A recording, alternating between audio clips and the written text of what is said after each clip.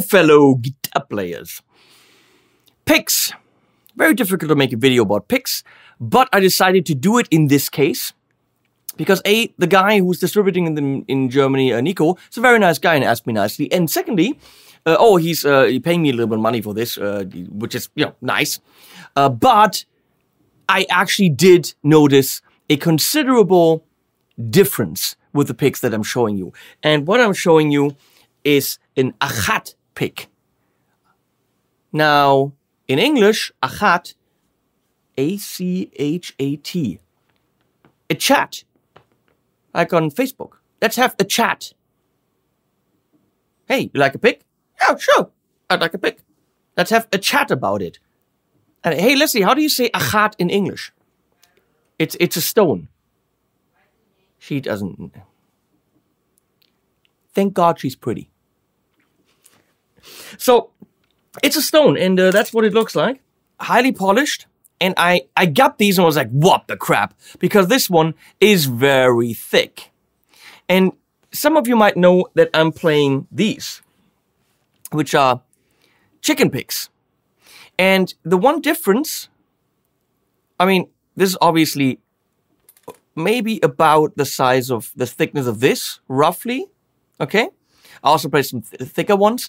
But the main difference is that this chicken pick, as you can see, has a relatively sharp edge, which is why the attack is very sharp. And on this, as you can see, it's completely rounded off. And what happens is exactly what you think. The attack is smoothed, smoothened. But that could be a good thing. I had the reaction of like, this is not going to be good. And then I played them. I was like, wait, it's so easy to play fast. And like for the, for the shredder, wow, because it's a very smooth but hard surface. So it easily glides over the string while not being sharp because of the roundness. And then uh, my buddy Jan came by, and I handed him the pick, and he's like, "Well, I, I want, I'm not going to be able to play with that." And he had the exact same reaction. He played, and he's like, "Whoa, I thought this would be impossible, but it's so easy to play. So, um, full disclosure, let's do this before we get into some sounds. Uh, the thinner one I played in some video, and I was doing some um, uh, funky thing.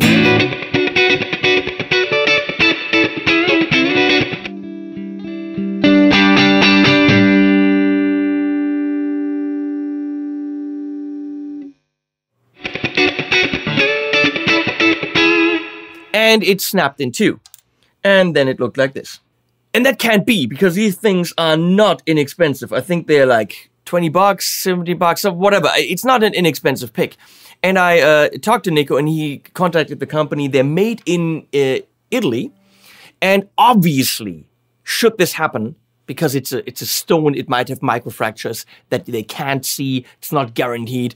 Should this happen, of course you get a replacement because obviously this shouldn't break from normal use. Okay, you drive over it with your car, that's your fault. So let me get a couple of attack sounds here with this Schecter Nick Johnston HSS thing that I'm reviewing with my typical chicken pick of course going into the Tone King Sky King with the Ox with the 412 greenback loaded cab.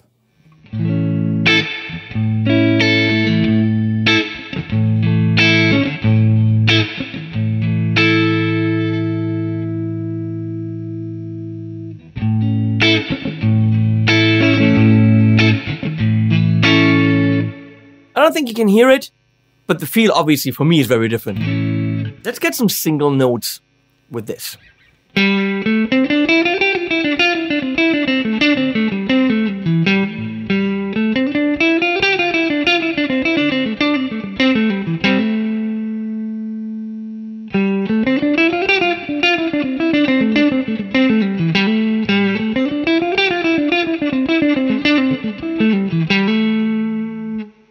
There's a very high attack frequency. There's a very high frequency that all of a sudden goes away.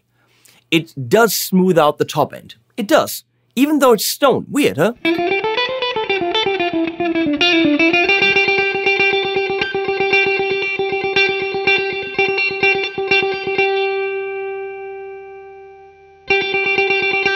Ooh, also more mids with the uh, chicken pick.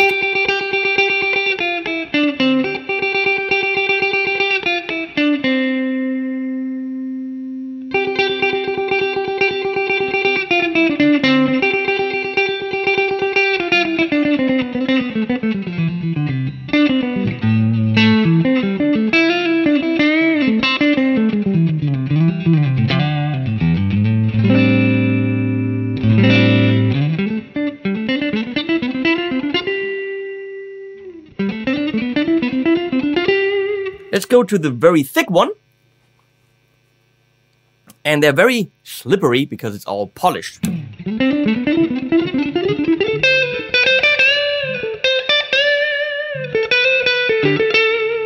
And it's thick and the edges are rounded and you think, oh, it's so difficult to play. But for shreddy stuff, absolutely not.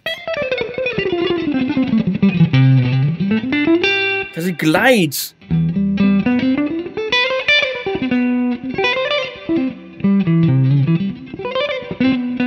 It glides so easily over the strings.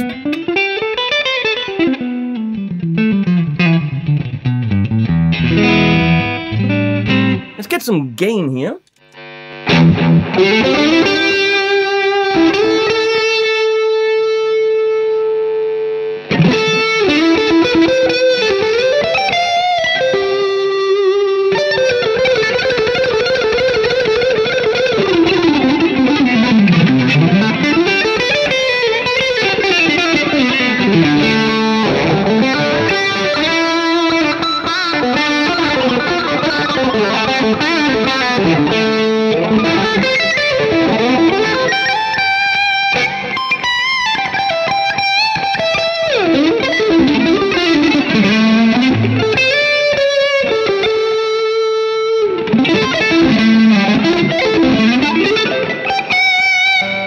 It's weird to play with a chicken pick.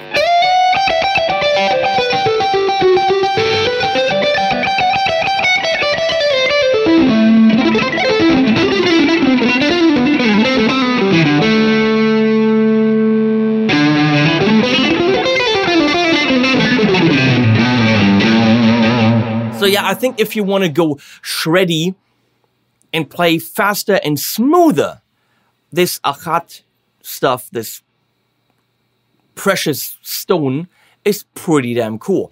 Now, it does kind of feel as if it wants to get away from you because it's very slippery. Now, they have this version, and it looks like what they did is they taped some skateboard grip tape to it from both sides which is a clever way to make it extremely non-slip. I don't think it's the best idea. I wish they had taken it, the normal stone, and just roughed it up a little bit. I don't know if you can do that, uh, but because just touching it's like, it's like nails on chalkboard. And if you do this, I don't even want to do it. This is like sandpaper in your mouth. And you're gonna hold your pick in your mouth somehow. If it gets to your teeth, this is gonna shave off your teeth. So it is absolutely more grippy.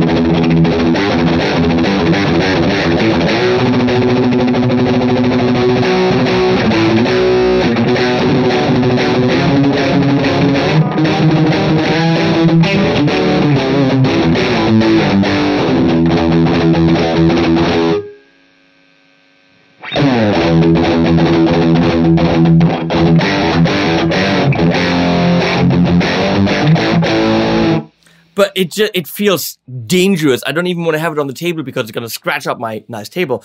Um, I wish they would just uh, sand this a little bit more. So I think if you want to find a different inspiration, you want to find a different way of playing uh, around, I don't know, 20 bucks or whatever, isn't going to break the bank. It might be money down the drain because you say, uh, doesn't do anything for me. It might be some way say, this is cool. It's my new pick. It's exactly what I thought about the chicken picks when I first got them. I was like, what's the point? And then now I play them all the time.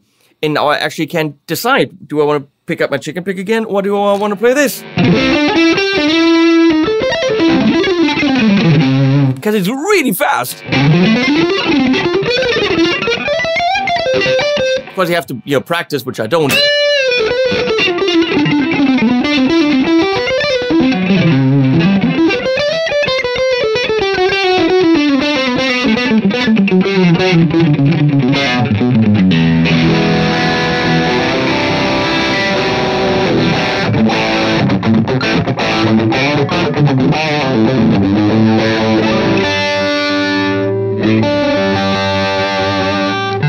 So uh, pretty cool. They're stone. Um, they're from Italy. Apparently, they're handmade. That's why you pay the price. You might find a pick that inspires you. You might waste a couple bucks, but come on. We've we've bought much stupider stuff. So I'm gonna put some links below. You can get them in Germany here now uh, through Nico's distribution. Uh, thank you for commissioning this video.